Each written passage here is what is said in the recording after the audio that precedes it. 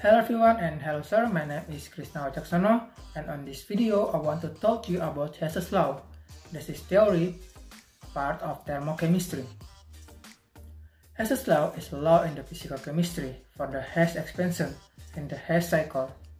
This law is used to be predict the enthalpy change from the law of conservation of energy, expressed as state function delta H.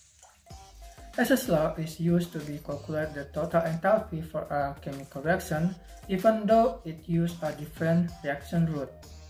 Enthalpy is a state of state function.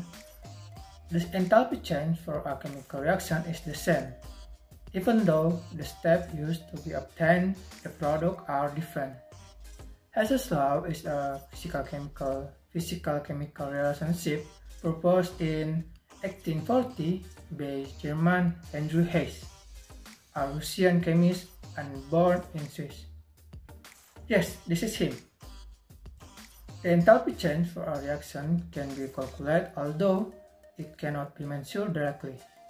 How to measure it? By perform arithmetic operation.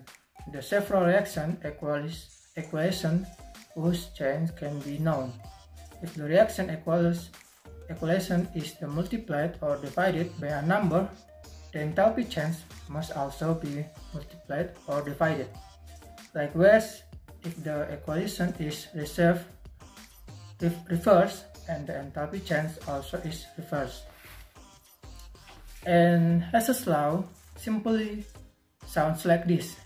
The amount of heat required of the in the chemical reaction does not depend on the course of the reaction, but is determined by the initial and the final states.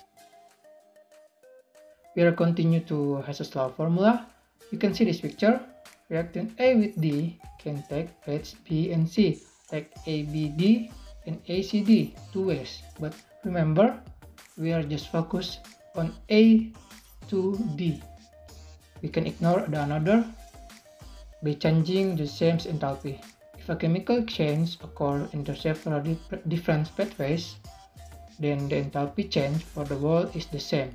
Thus, delta H for a single reactant can be formulated as delta H reaction equals to sigma delta HF product minus delta sigma delta HF reactant. And we continue to the last. This is example Hess's law. In this diagram, it is clear that if C plus 2H2 plus O2 is reacted to become CO2 plus 2H2, the enthalpy change is minus 393.5 kJ.